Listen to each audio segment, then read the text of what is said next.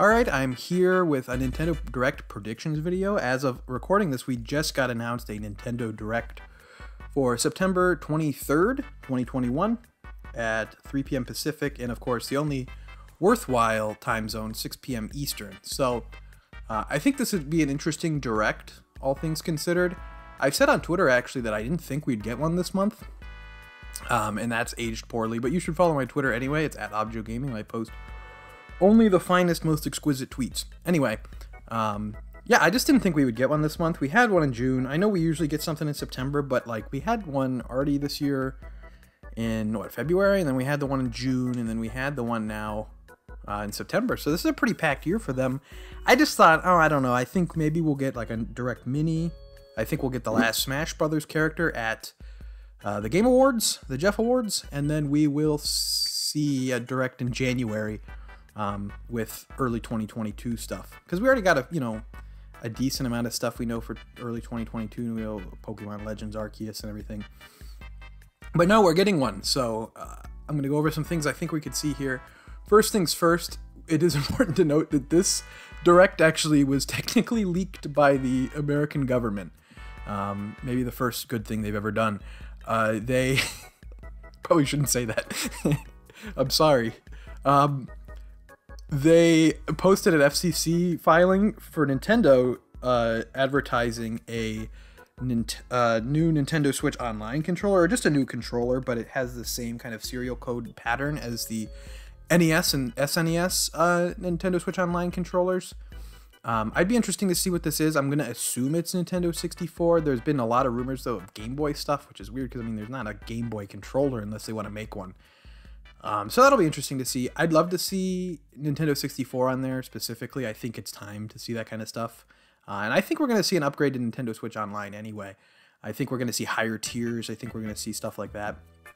It's about time to just see something new for Nintendo Switch Online. I mean, they've just been cranking out the lamest of the lame games. It's like kind of unbelievable. I mean, you got stuff like Jelly Boy and oh, God knows what else. Um, it's time for some new stuff, and I think Nintendo 64 would be a good place to go.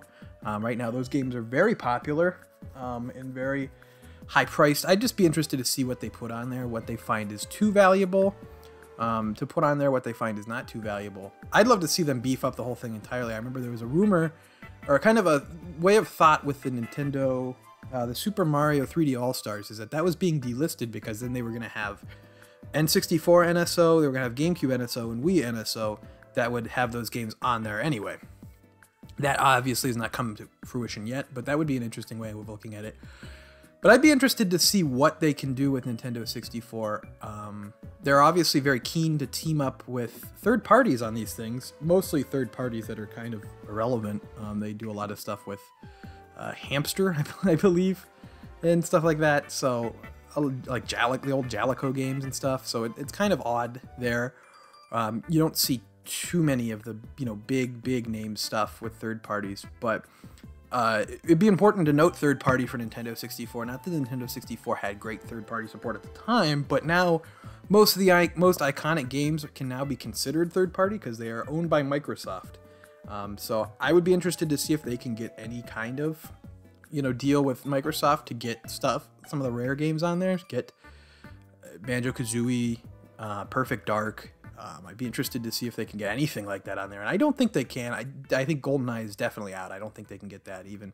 That's just too tied up with way too many licensing deals to even try to get. But it'd be interesting if they could even even like some of the lower end, you know, not lower end quality wise, but lower end popularity wise, like Blast Corps and stuff like that, and Jet Force Gemini be interesting to see if they could get those on there, but I think, you know, a good starting point for N64 Online would be like some Mario. I'd love to get the old Mario parties with online play, but they're not going to do that because they have uh, the new Mario Party All Stars game coming out with online play with new, you know, the old boards. So I don't think they'd want to do that. Um, but I mean, maybe Mario Kart 64 be on there with online play. That could be fun. Original Smash Brothers, uh, Mario 64. It'd be interesting, but on the other route, they could just put Game Boy games on there and make some kind of weird controller for Game Boy games. Uh, that'd be cool too. Not as exciting, obviously, for me, but uh, still would be interesting for them to do. But yeah, I think we're going to see a revision to NSO. My dream for NSO is that you know, they'd have to do more expensive tiers, and that's fine. But just like Nintendo, it doesn't matter if you're, you know, you bump it up to $100 a month or something, and you can say for $100 a month, you get online play plus a library of all the first party NES, SNES, N64, GameCube, um, Wii games all on here. It's all you got to do. That'd be awesome. Um, but I just don't see them doing anything like that. Uh, but it, that would be like you know the dream is just to have a nice you know like that almost like a game pass type thing where it's like you know you can just play all the nintendo first party titles on here and then you can maybe get some third parties whatever. Would be really cool. I don't see them doing that though. I don't see nintendo doing anything that's not 10 years in the past when it comes to online stuff. So uh, we'll get there eventually maybe. Um, other than that i think we're at a weird place with uh, breath of the wild sequel. They announced you know they showed a little bit more of it at the E3 Direct. I think this time around we're going to get a launch window and we're going to get a name. And I think the name's going to be something of, it's going to be like something of the wild. Uh, I think that's probably pretty, or maybe it'll be like Breath of something. They should call it Death of the Wild. I think that'd be a terrible name. Um, but I think we're going to get stuff about that. I think, you know, it's been long enough. It's interesting to see people being like, oh, you know, let's, they, they made, um, you know, Majora's Mask was a lot of the same assets from Ocarina of Time, and they were able to make that game in a, like less than two years, about 18 months or so. Uh, and it's interesting that they're kind of, it seemed like they were doing something like that with Breath of the Wild, and that game's now will be out, you know, five years after the original one will come out. Um, so it seems like there's going to be a lot about this game that we just don't know about. A lot of this game that we have no idea what's, you know, what it is, because if this was just, you know, your quote unquote simple asset asset flip, it would have been out by now. And I know COVID has messed things up, so I think there's a lot we could see about this one. I just want to get a name. And I would love if they were like, yeah, this is going to come, I don't know, summer 2022, or this is going to come, you know, just give us a rough date. I know that they don't want to do that right now because then if they have to delay it, it looks bad. But if you just say 2022, uh, it's unlikely that they'll miss the whole year of 2022. But I'm, I'm excited either way. I think we're going to see something there. Um, Smash Brothers, I think that we might not see Smash Brothers. I think they want to kind of spread it out as long as possible. And I think they want to drop the last character at the Game Awards. Uh, they didn't say anything about Smash Brothers. And I think they would have in the uh, direct post. And maybe they've done a follow up tweet or something. I haven't seen it because um, I'm recording this, obviously. But maybe they have done something about Smash Brothers. Maybe they have a done a follow up post or something. I don't know. They didn't post anything about Smash Brothers. Usually in the direct thing they say, "Oh, featuring the next Smash Brothers character in Nintendo Switch games." So, I think they might save it for the Game Awards. I think that's a good strategy. They did Joker there. They did Sephiroth there. It gets a lot of eyes on stuff, especially when it's rumored right now that Master Chief is a character, which I'm not sure if I believe it or not, but um, you know, with Halo Infinite being a big game right around the time of the Game Awards coming out, it comes out that game's coming out around the same time I think the Game Awards usually happens. So I think that maybe they want to do it there, but we'll see. Um, I don't even know who to expect anymore. I don't know if I buy Master Chief. I know the big two rumors are like Master Chief and Crash Bandicoot. I don't know if I really buy either of those. Um, but it'd be interesting. I would be interested to see where they go with it. Uh, I think it's time to let Sakurai do a new game. Um, I am a huge Kid Icarus Uprising fan, so let him either do. You know, the guy's a genius. Just let him do a new game. Um, the man directed and wrote Kid Icarus Uprising. That game's great. Uh, just let him do something else. Free him from the shackles of Smash Brothers already, and you know, let him do something creative. Uh, anyway, I'm thinking I want to see Mario Odyssey 2. I don't know if that's a possibility. Um, that would be a killer announcement. That would be like a mic drop type announcement. I love Mario Odyssey. I think it's like the best Mario game, at least the best 3D Mario game. And I want to see a sequel, Nintendo. Hand it over. Give us a sequel. Hashtag give us a sequel, Nintendo. Um, Bayonetta 3 is another interesting one. I'm kind of worried about Platinum. Um, things aren't looking so hot over there. That that game Babylon's Fall looks like crap. I'm gonna just say it. Their game with Square Enix, which is a shame because that game, that game when they first announced it looked really cool, and then they showed it recently and it looked just horrible. So I'm not sure what the deal is there, but not on board with that one. Uh, Bayonetta 3, they're you know Kamiya saying that you know they're ready to show the game. So my thought process is it might be done and they're just sitting on it and Nintendo's waiting for it. So if that's the case, I mean, they announced the game in, in 2017, so you'd think that they already had some work. So it's possible they'd worked on the game for like four years now, three or four years now, and it's now they're ready to go with it. And if that's the case, I think we'll see it at this direct, and we'll get maybe an early 2022 release date, maybe a February uh, or January. I think that would be a good spot for it, or March. That'd be a good spot for it, I think. But I think we're ready to see uh, Bayonetta 3 for sure. Um, and if we don't see it, I'm going to be worried, kind of worried about Platinum because I don't know. They're doing this push for self-publishing. They did the Kickstarter for Wonderful 101 on Switch and PS4, and apparently that port's not very good. Uh, it seems kind of like a low-effort type port um, to get it running from Wii U and you know get it working from Wii U. And they took some investment money from Tencent, which is a little bit. and so I'm not quite sure, you know, what to think about them. They're one of my favorite developers, but I feel like they're kind of getting outpaced at what they do with their character action games. I mean, um, Namco Bandai's Scarlet Nexus just came out, and I think that that game is on par of any like a lot of the stuff that they've done. Um, mechanically, at least, the story in that game wasn't anything to write home about, but mechanically, I think that game's on par with anything that uh, Platinum's done, and I think that game Project Eve coming out of South Korea also could be on par with anything they've done. So I, I feel like they're kind of going to start getting outpaced unless they start showing us the goods and not, you know, Babylon's Fall. But we'll see. Um, other than that, with Bayonetta 3, I think, yeah, I'm going to be concerned if we don't see it. But uh, we'll, I want to see it. Uh, let's show us Bayonetta 3, Nintendo. Um, trying to think of what else there could be there. Xenoblade. I think we'll get something from Monolith Soft. It's been a while since they put anything out. They're a huge studio. I mean, I think they have like 250 people working. Um, they're a pretty huge studio. I know they did Xenoblade Chronicles Definitive Edition in 2020, but that there's no way that took up the entire team.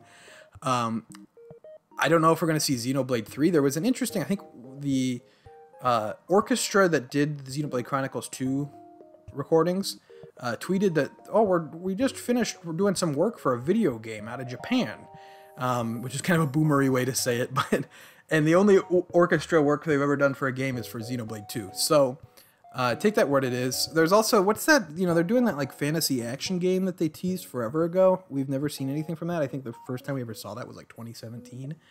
Um, I'd like to see that. I like Xenoblade, but maybe it's time to get a new IP out of them. I think that could be cool.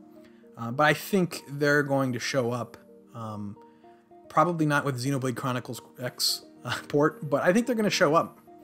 Uh, speaking of Wii U ports, I think we're done with them. I think that they're going to move into 3DS ports. And I did a video of games I'd like to see ported to the 3DS. Um, I just think that, you know, their next Bastion, uh, I don't think there's anything left from the Wii U to port now. Maybe Xenoblade Chronicles X, but I don't think they're going to want to do that.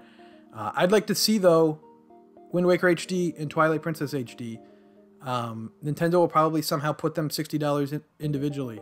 Uh, but I'd like to see that in a pack. I would even pay 60 bucks for a double pack of that. I'd like to see those.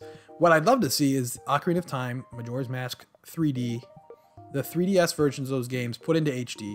Look at those games running in an emulator on YouTube. Don't download an emulator and don't download the games because I'm not going to advocate for piracy in front of an audience. Um, but look at those games running on like an emulator on YouTube or something. Um, it they look really great. I mean, so I would love to see those games on Switch. Those were really great, really great ports um, from Grezzo. Other than that, I'm not sure on the Zelda front. I feel like we've already got everything for the 35th with the Game and Watch and all that. May maybe one more thing, but I don't think I think we're about done with Zelda 35th um, on that one. But I think it'd be an exciting time. Maybe they want to do. Maybe they got Grezzo working on uh, the Oracle games remakes, I know that those have been kind of rumored lately, um, but I'm not sure. I don't think we're going to see Metroid Prime 4. Um, as much as I want to, I don't think they're going to be like, hey, we got Metroid Dread coming out in like two weeks, but hey, check out this other, get more hyped for this more, you know, expansive looking Metroid game. You know, this Metroid Prime 4, it's unproven of whether it'll be a better game. I'm more into the Prime um, games anyway, so it might be better to me, but um, to a lot of people, to the to the layperson, they're going to see that and they're going to go, "Oh, we're getting this 2D Metroid, um, but there's going to be this big 3D, you know, high budget Metroid game." Um, and that's not to put Metroid down. I just know a lot of people. There's like an argument if it's worth sixty dollars because it's 2D. It's a stupid argument, but So I don't think we're going to see Metroid Prime 4. I think we're probably getting close to seeing it though. I know they rebooted development January of 2019. Um, so it's hard to say, but I think probably sometime in 2022 we will see um, Metroid Prime 4, and I'm very excited to see that game. But I don't. I mean, I think this could be an exciting Nintendo Direct. I think this is my prediction. This is a weird one. I've said this one before a little bit, but in 2015, Shigeru Miyamoto made the statement that Pikmin 4 is almost done. It has been six years now. Where is Pikmin 4, Shigeru? Where is he? Where is he? Where is it? Where is Pikmin 4? Um, my thought process is we all know that Nintendo has never shied away from holding games for the right part of the calendar. Um, they're apparently doing that now with Metroid Dread. Metroid Dread has apparently been done for a good while now. Um, but they have never been shy of that. I'm thinking that they could have finished Pikmin 4 like a long time ago, and they thought, we want the sales of Pikmin 3 Deluxe. It would make no sense to put out Pikmin 4 and then put out Pikmin 3 Deluxe on the Switch. So they probably, I think that this is a little bit tinfoil hat. I don't, who knows what Miyamoto was talking about there. Um, it could have been as simple as, I don't think they were talking about Hey Pikmin because he had nothing to do with that game. I mean, I don't know what he could have been talking about there. He has to have been talking about Pikmin 4. So unless the game was scrapped or canned, which it could have been, um, I'm thinking that we could see it. I think we could see something there, and that's kind of exciting. Uh, I really like Pikmin 3, and I'm I'm ready for a Pikmin 4. Uh, it's been about a year. I think last October is when Pikmin 3 Deluxe came out. It's been about a year now since we got um, Pikmin 3 Deluxe. I don't know. I just lost my train of thought there. And I wouldn't be surprised if they've been sitting on a Pikmin 4, like just a finished Pikmin 4 since God knows when, 2017, 2018, and they just wanted a good time for those Pikmin 3 Deluxe sales because Pikmin 3 Deluxe sold really well. Think it's the best selling Pikmin game now. So it was smart of them to do that. Um, and it's time for Pikmin 4. It's time. Uh, other than that, with third party stuff, it's always up in the air. I don't know what to think. I'm an, obviously a huge Atlus fan, um, and I think we're going to see a lot of Shin Megami Tensei 5, which is cool. They're really promoting that game pretty huge, and that's great. Maybe we'll see Shin Megami Tensei 5 or a Shin Megami Tensei game character from Smash Brothers. I don't think people will be happy. Um, but other than that, I really want to see the Persona 4 Golden port to console. Um, maybe they announce it here and it comes to PS4 and Switch and whatever. Probably not Xbox because Atlus is weird. But I don't think we're going to do it. They have this weird thing going on for the 25th anniversary of Persona where they're doing announcements. Um, they're hyping up the September announcement forever, and then the announcement was that um, the animes are going to be running on TV and on different streaming services and that there's going to be a concert in November and more announcements in December. So obviously they're not they, maybe at the end of this announcement thing that we'll have we'll see probably Persona 6 way at the end of next year for their announcements. But I'm thinking this would be a really good time to get Persona 4 Golden on consoles. They did the P- the PC port. It sold a ridiculous amount. Uh, it sold very well and that's not even a platform that really has our JRPG fans on it. That's not really a platform that has um, any kind of real resonance with Persona. They've never had those games before. So if it can sell that well there, I'm thinking like a PS4 Switch port would sell very well.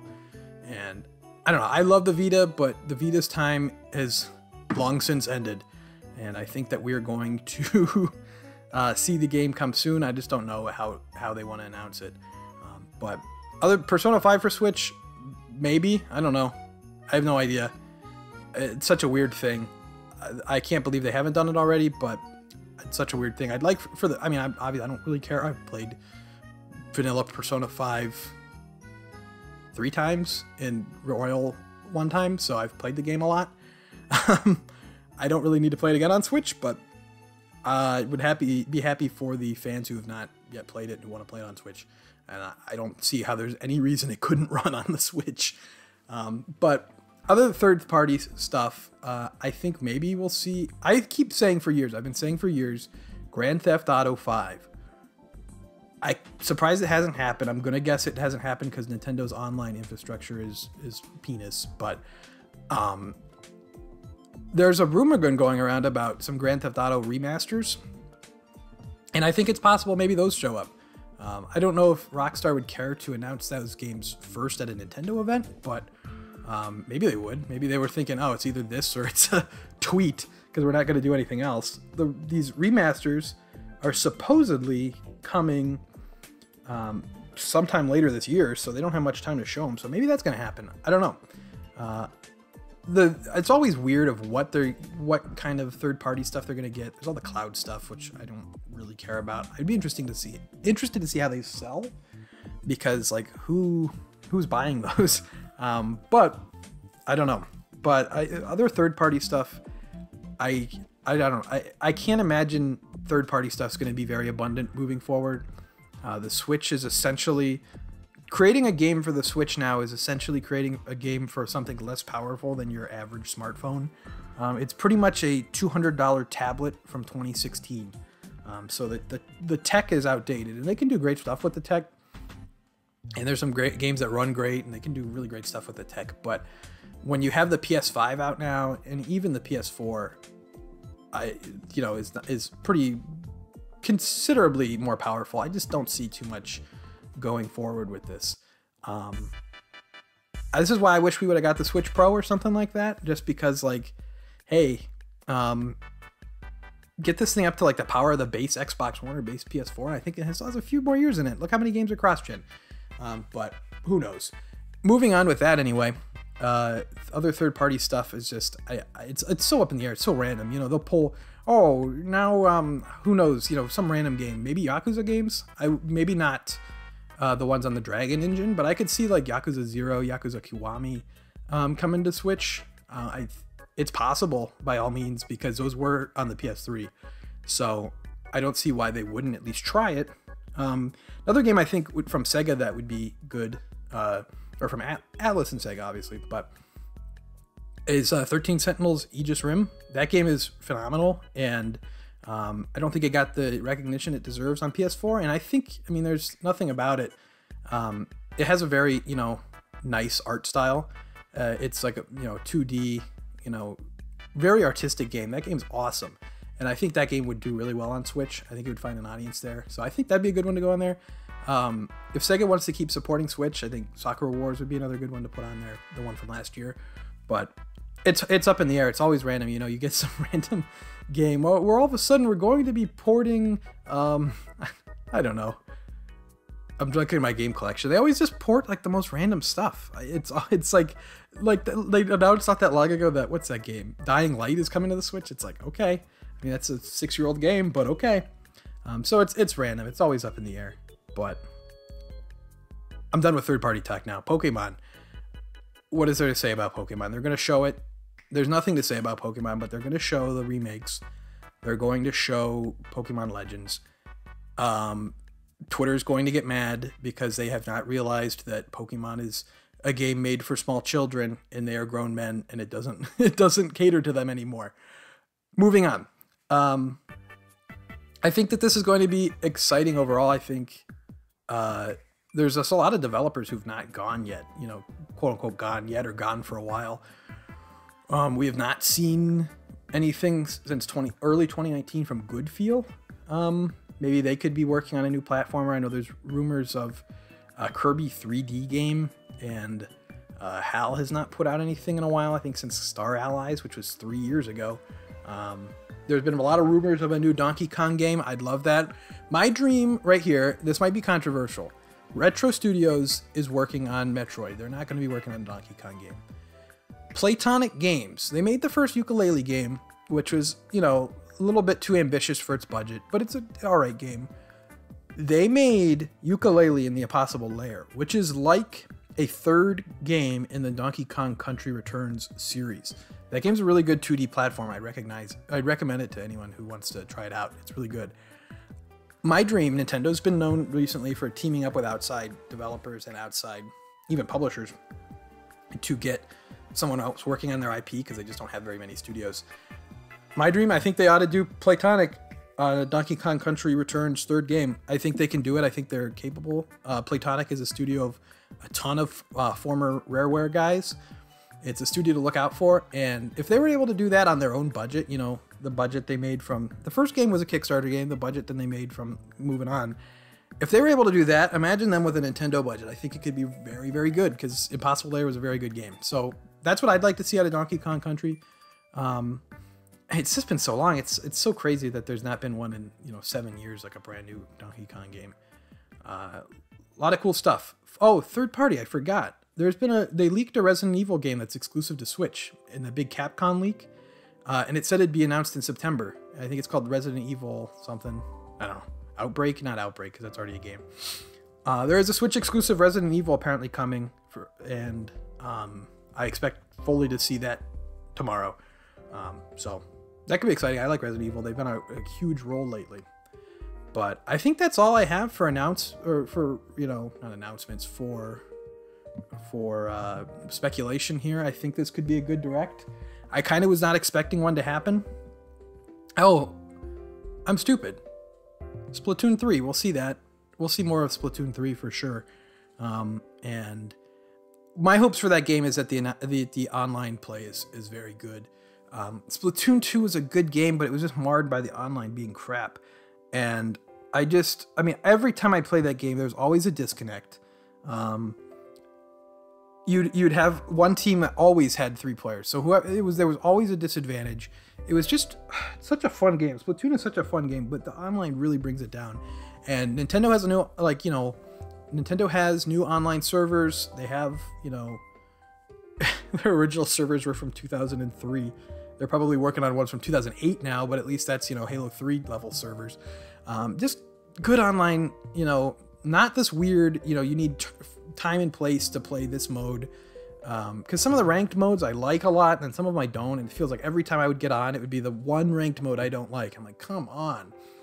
Um, Splatoon 3, good online. Please make it easier to be able to play with your friends. Um, that's what I want to see out of Splatoon 3. Don't I mean I'll play the story mode. The story modes have always been fun. I don't care about the story, what the story is. I don't care about the lore. I just want it to be fun. So give it to me. Uh, I think we'll get a date for that. I feel like that could be a good like April game, May game. Um, but yeah, hand over Splatoon 3, Nintendo. All right, I think I'm finally done now, unless I think of something in the next five seconds, but I don't think I will. So could be an interesting direct all around. I once again I didn't think we'd get one. So the fact that they have a 40 minute Nintendo Direct coming at us um, in a time where I just think we already have a lot of games coming out is a very good sign. Um, so that could be this could be a good show. I think. Uh, I think it's a very good sign. So um, let me know down in the comments what you think might be happening. I'm going to try to stream my um, going to try to stream my reactions to this. So stay tuned for that. Subscribe if you're not already subscribed, and you'll see that. Uh, I might have my friend on as well um, who did the uh, Sky85, who did the reaction to the last Nintendo Direct with me, as well as the Sony, um, you know, presentation for September. So I'm gonna try to stream that as well. So check that out. And other than that, you know, follow me on Twitter at Objo Gaming. I'll tweet out more about this as it comes about. Um, subscribe as you're not already subscribed. Like this video if you enjoyed it. Helps out the channel a lot. Comment helps out the channel a lot. And I also just want to see what you guys think about what we're going to see tomorrow. Um, until next time, thank you for watching.